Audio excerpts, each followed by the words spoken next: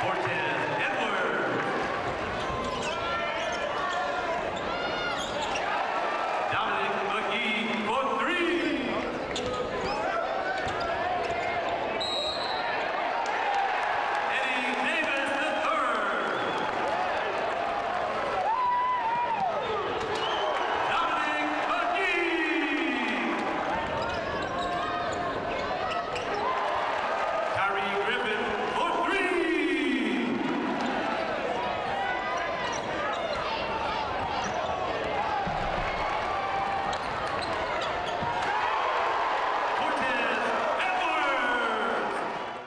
Stomach.